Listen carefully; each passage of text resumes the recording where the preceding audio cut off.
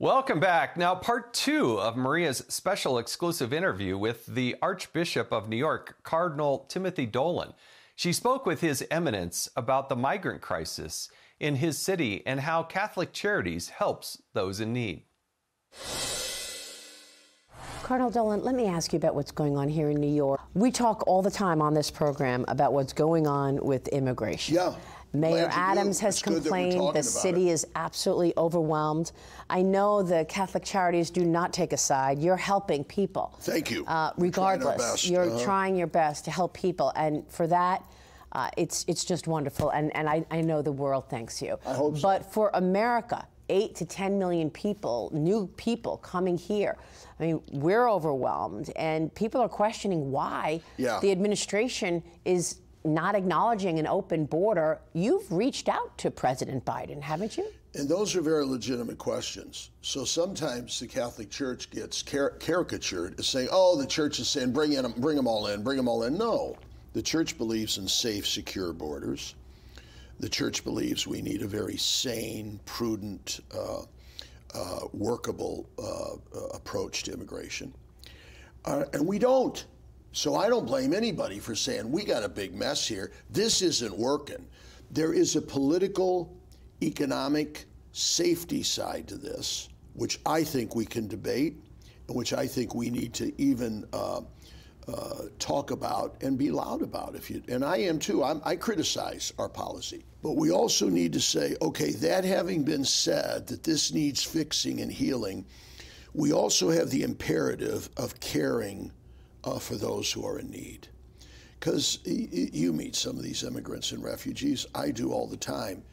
They didn't quite know what they were getting into. They just heard these whispers in the countries where they come from that are riddled with uh, narcs and gangs and violence and oppression and tyranny. And they hear a whisper that the United States will welcome us. And they come. Now, these, these people are kind of victims as well of a broken, sloppy, unfair system. But we, we do need to reach out to them and to love them. Remember the story? That poor Joseph with Mary, right ready to give birth to the Savior of the world. And the innkeeper said, Sorry, sir, no room. Now, we often malign him as kind of being mean. But he did say, um, he did say, Sir, I'm sorry we don't have any room but at least there's kind of a safe, warm spot right outside in the manger. And why don't you and your wife go there? You'd sure be welcome.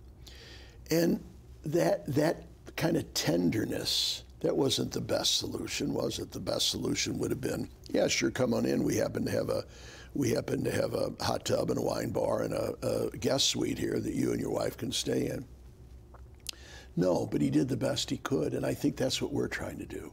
Let's do the best in a broken situation to correct the inequities, but also trying our best tenderly and compassionately to care for the people whom we got.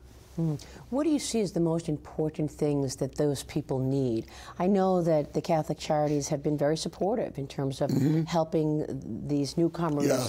live here and get ready for court dates in a few years. Yeah. What do they need?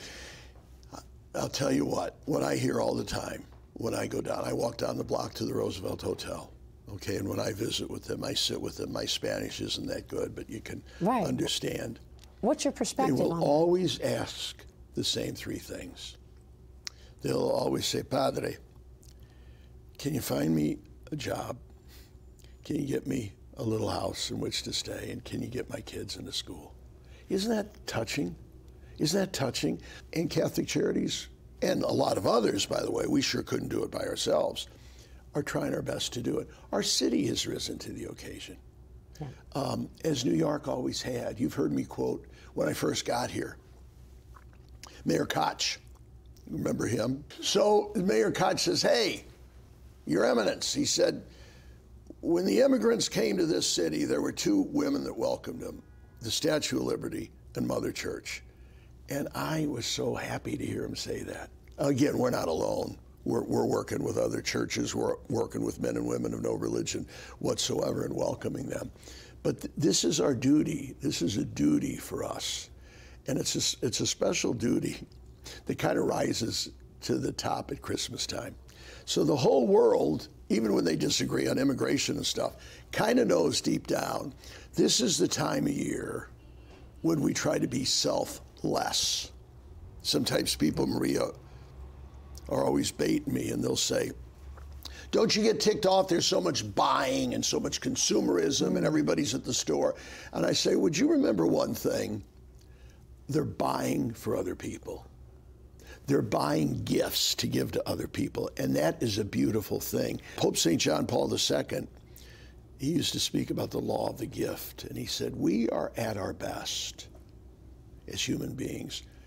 We are acting most in conformity to, to the way that God made us when we give what's best in ourselves away to another with love, the law of the gift. God the Father did that in giving us his Son at Christmas. I'm Steve Doocy. I'm Brian Kilmeade. And I'm Ainsley Earhardt. And click here to subscribe to the Fox News YouTube page to catch our hottest interviews and most compelling analysis.